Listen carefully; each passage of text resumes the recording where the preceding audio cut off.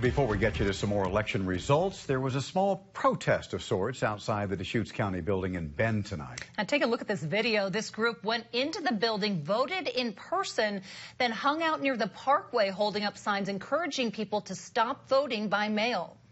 There's a lot of people on on um, on the side of the aisles that just don't really feel that our voting is um, secure and safe, and we're down here promoting that.